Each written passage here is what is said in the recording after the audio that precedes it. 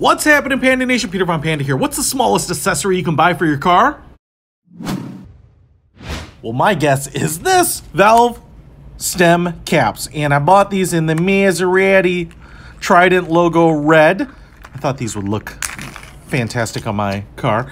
And as you can see here, they have the little red Trident under a little, little plastic, soft plastic cap. Pretty cool.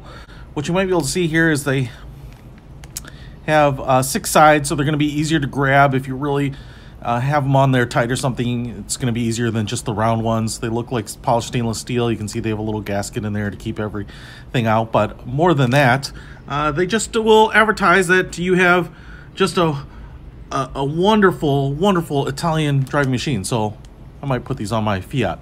Anyway, uh, you know, they come in some different color combos and you can kind of match them to the look of your car, like these in black. But uh, let's go put them on the car. So there they are, installed. Amazing transformation. Oh, you want to see it closer? Right there.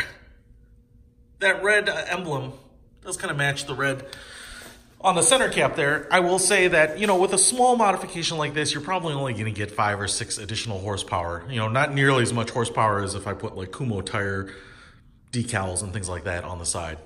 But an easy installation, under 10 bucks. I'll put a link to these in the description. Peter Von Panda out.